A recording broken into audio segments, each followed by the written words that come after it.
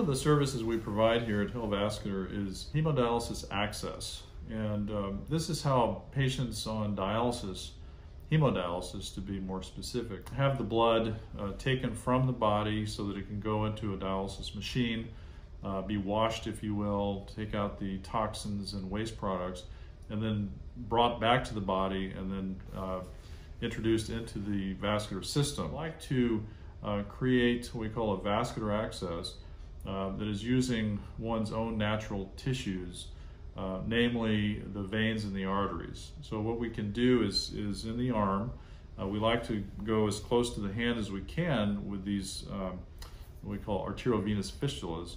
And we make a, a, small incision in the operating room under anesthesia. There's usually local anesthesia with some sedation. We don't really need to put patients to sleep for this uh, most of the time and we make a small incision. We dissect out the arteries and the veins, and then we uh, will divide a vein and then uh, plug it in or sew it into the side of the artery. And this creates a direct shunt, so the blood comes from the heart into the arm, and on the way to the hand, some of the blood goes into this um, new connection, the fistula, and then back to the heart directly. So it's a high flow, what we call low resistance circuit and the blood flow through that um, fistula is very, very high, about 10 times higher than the normal flow through the artery before the fistula is created. Um, this uh, uh, stimulates the vein to, uh, number one, enlarge and lengthen uh, so that you get uh, a larger diameter uh, that will accept more flow, and the wall will thicken as well. that allows the dialysis technicians to access the fistula uh, with the needles to uh, allow for dialysis.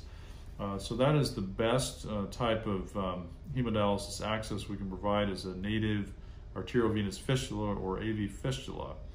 Uh, sometimes the veins in the arm are not adequate uh, to create a native AV fistula, so we have tubes that are prosthetic made of um, inert polymer materials like uh, PTFE or polytetrafluoroethylene, which is the same type of material in Gore-Tex uh, clothing. It's fashioned in tubes so that we can connect one side of the, the tube to the artery and the other side to the vein, and the blood will then travel from the artery through the uh, vascular graft into the vein. And we tunnel these beneath the skin, very close to the skin, so that the dialysis technicians can then access the graft. And that's called an AV graft, arteriovenous graft. And it's a good option for patients too. It's something we consider a permanent hemodialysis access. Uh, patients who don't have adequate veins and if uh, an arteriovenous graft is not a good option or if a patient suddenly goes into kidney failure and they need dialysis uh, urgently or emergently, we don't have time to do these operations. In that case, uh, a hemodialysis catheter can be put in. Uh, the catheter actually goes through a vein, usually in the neck, called the internal jugular vein on the right side or left, and then is tunneled beneath the skin and then comes out uh, along the chest area. And the catheter has two uh, ports. One is the venous and one is the arterial. Uh, so the uh, venous draws the blood away through the machine and then the other uh, brings it back into the catheter and then the blood flows back very close to the heart where the catheter tip is positioned actually in the right atrium of the heart. Um, so these are the three types of access for hemodialysis. As I said, the best is a native arteriovenous fistula, and that's what we always strive to offer patients. And then once a patient has a permanent uh, fistula or um, arteriovenous graft, it needs to be monitored and maintained. So sometimes we can have narrowing that will form, scar tissue might form in the fistula or the vein outflow.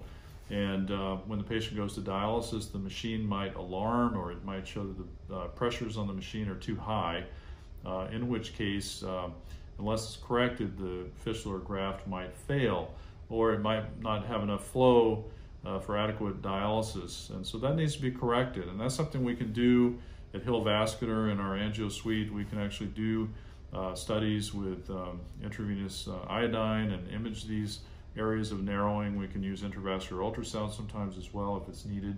Um, then we can balloon and if necessary, even put stents, which are um, like metal uh, cages, if you will, that kind of expand and, and hold open the blood vessel so that um, the blood can go through without any obstruction. So these are things that are done to maintain a dialysis access once it's placed. Uh, we consider all of our patients um, uh, very uh, important members of our community and we are here to serve them.